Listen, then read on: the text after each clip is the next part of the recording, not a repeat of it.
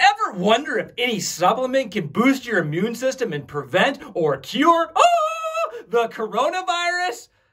Oh my God. That is going to be the topic of our 60 second brain bomb for today. And the short answer is! Now, with the spread of the coronavirus, a lot of supplement companies are marketing supplements that can boost your immune system, even cure or prevent the coronavirus. But this is a bunch of malarkey. You want to know why? Well, one, there is little to no evidence to suggest that any supplement can prevent a virus from happening to you if you're exposed to it. Now, if you can show me some peer reviewed evidence, not your bro digest or Dr. Ass, I mean Oz, I will give you some beachfront property in Iowa for free. Number two, people have this idea that the immune system is some magical internal force field that can be bolstered or patched up. And this, again, is not true.